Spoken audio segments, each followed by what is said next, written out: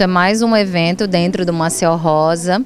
E a gente fica muito feliz de poder alcançar também essas mulheres que são tão importantes aqui para o centro pesqueiro e que às vezes ficam ali meio esquecidas, né, com foco só no pescador. E a gente sabe que as mulheres né, com ela pode, com essa capacitação, elas podem muito mais do que o que elas fazem hoje. Né? Então é uma forma de motivar, de formar e que elas realmente acreditem que elas possam ter um trabalho melhor, que elas possam gerar renda, que elas possam ter autonomia e independência.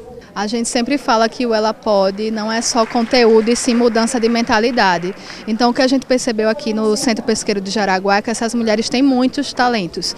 E então a gente está aqui só para despertar, para que elas consigam ter força para seguir e seguir mais fortes. Para a gente foi bom, né? Porque a gente entrou no curso de embalagem, de higiene, a gente saber atender os nossos clientes, a gente vender mais. Para a gente foi bom, ótimo o curso que teve e que está tendo, né? Não conhecia o Ela Pode, né? E fiquei é, maravilhada com a, com a capacitação e, inclusive, eu quero levar essa capacitação para a minha instituição eu quero firmar essa parceria aí com elas, porque realmente eu, pelo que eu ouvi, é excelente, muito conhecimento, né, muito empoderamento para essas mulheres e eu fiquei encantada, realmente.